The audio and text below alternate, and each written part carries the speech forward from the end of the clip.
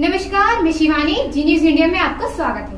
आप देख रहे हैं जी न्यूज़ इंडिया राजस्थान। खबर राजस्थान के पाली से है। बारिश में भीगी गेहूँ की बोरियाँ, बरसात के चलते सैकड़ों बोरियों में घुसा पानी, लाखों रुपए का हुआ नुकसान।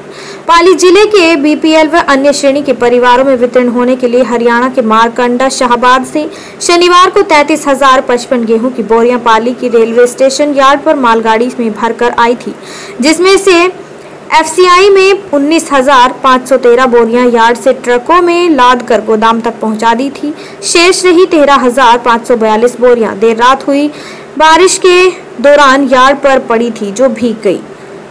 एफएसडी ने इन बोरियों पर तिरपाल ढक रखा था। इसके बावजूद भी इनके कच्चे यार्ड पर पानी जमा होने के कारण कई बोरियाँ बारिश में भीग गई। एफएसडी पाली आगार के प्रबंधक मनोज मीणा ने बताया कि विभाग द्वारा रेलवे विभाग को कई बार पत्र लिखकर यार्ड कच्चा होने की शिकायत की गई है। मालगाड़ी का किराया सहित यार्ड का पूरा पैसा रेलवे विभाग को दिया जा रहा है लेकिन यार्ड का निर्माण नहीं करवाया जा रहा जिसके चलते एफसीआई को नुकसान उठाना पड़ रहा है। हाँ सर ये जो बारिश से जो गेहूँ भीगा इसके बारे में बताएँ क्या है?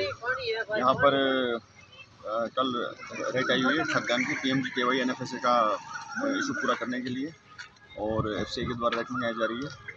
और यहाँ प्रॉपर अरेंजमेंट हमारे द्वारा किया जाए बारिश से गेहूँ भीगे ना। लेकिन रेलवे की तरफ़ से थोड़ा सुविधाएँ यहाँ पर है नहीं।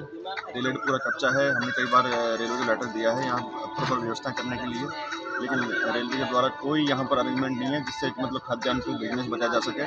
हमारे कॉन्ट्रैक्टर के द्वारा काफ़ी कोशिश की गई है कि खाद्यान्न ना भीगे टोटल कितनी बोरियाँ हैं? यहाँ पर टोटल तैंतीस हज़ार के आसपास हमारे खाद्यान्न आया था इसमें। साढ़े तेरह हज़ार कट्टे भी बचे हुए हैं जो कि आज शाम तक यदि बरसात रुक जाती है तो हम खवा देंगे। सेफली इसको पूरा कोशिश कर रहे हैं कि खाद्यान्न ना भीगे वैसे अब तक कोई भीगा नहीं है। और इसको हम सेफली हमारे गोदाम में पहुँचा देंगे। यदि रेलवे यहाँ फ्यूचर में अच्छी व्यवस्था करता है तो हमें काफ़ी सुविधाएँ होंगी खाद्यान्न का ट्रांसपोर्ट करने में। क्या नाम आपका?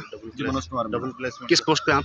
जी manager depot F C I Pali double place यहाँ रेलवे के द्वारा डबल प्लेसमेंट के लिए हमने बार बार बोला है, लेकिन कई बार रेलवे डिनाई कर देता है कि इसमें हमारे द्वारा सेंटिंग चार्जेस था, लेकिन इस तरह की परिस्थिति में हम किस तरह मतलब सिंगल प्लेटफॉर्म पे रैक को मतलब हैंडल करें? तो इसलिए रेलवे से ये भी अनुरोध है कि हमें हर रैक में डबल प्लेसमेंट दिया जाए, जिससे कि हम जो भी हायर प्लेटफॉर्म उपलब्ध है उसका यूज़ कर सकें और हमारे खाद्यान्न को बिज़नेस बचा सकें।